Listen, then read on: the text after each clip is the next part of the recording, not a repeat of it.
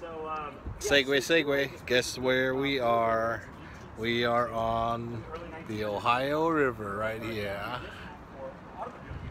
There is Cincinnati in the background. And there is Newport, the aquarium on this side. And uh, look at this look at this hilltop right here. How's this? Best way to spend the Monday, I tell ya. On the Ohio River, next to the Cincinnati Stadium. Gonna head out to Columbus, Ohio tonight. And uh, look at that boat down there, huh? That would be pretty awesome. Go ride down there along the river. And uh, go have some dinner. Go go to Jack's. Check out Jack's, my favorite casino in Cincinnati.